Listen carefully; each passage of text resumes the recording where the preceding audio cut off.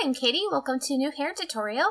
We're going to be starting with a center parting and we're going to make a panel on either side of that parting. These panels are going to be a rectangular shape, so straight across in the back.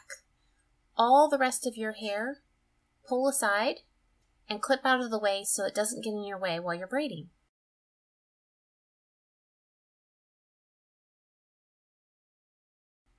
Now we're going to brush all this hair straight back so it's nice and smooth and prepared for you to start braiding without getting tangled.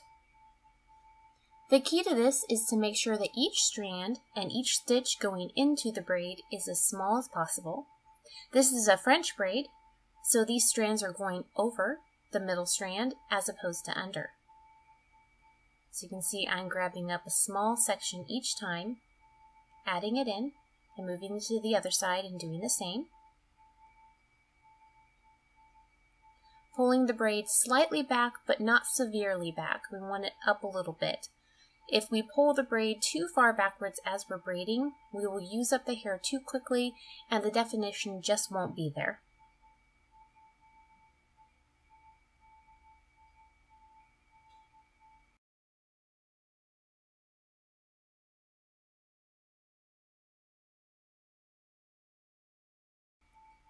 Once I got to the back, the easiest way to anchor this braid securely and to make sure nothing is sticking out is to make sure your last stitch that you add in is from the inside, so from the center parting.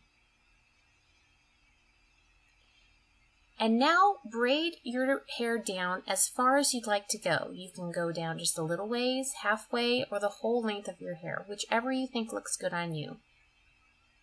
I find leaving at least five to six inches unbraided, if you have very long hair, gives the illusion that your hair is even longer than it really is. Not that I need any help in that area, my hair is ridiculously long. So now move over to the other side and do the exact same thing. Again, making sure the panel is straight across in the back, matching the other side.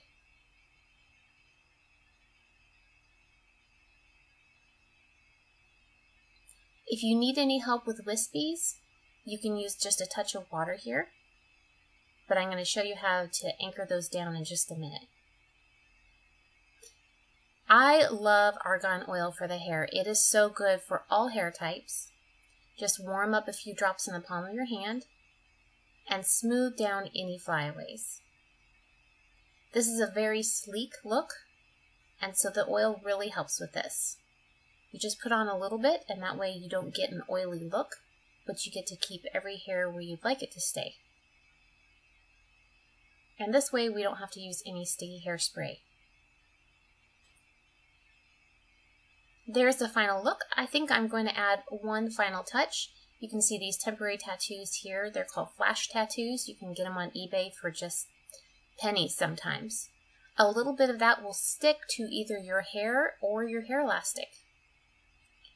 Just peel off the backing, add a little bit of water, hold into place on where you'd like to apply it for just a few seconds, and remove the paper, and there you go, adding a little shine. I hope you enjoyed this hair tutorial. If you did, please give me a thumbs up. Don't forget to subscribe and comment below. Thanks so much for watching.